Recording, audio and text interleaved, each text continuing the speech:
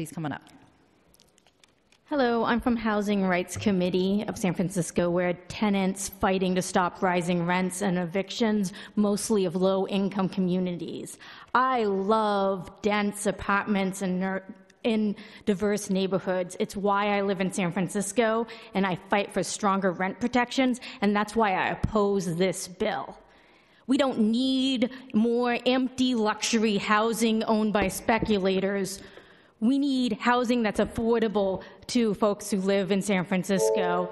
We welcome people to San Francisco and we fight for their rights to have affordable rents and live here. Why is no one demanding white wealthy cities who want to put in headquarters eh, of high-end jobs in white wealthy neighborhoods. Maybe they should do their parts instead of just keep asking the densest city in the country to build more and to push out more of our elders and our neighbors and the people we love and make it so that immigrants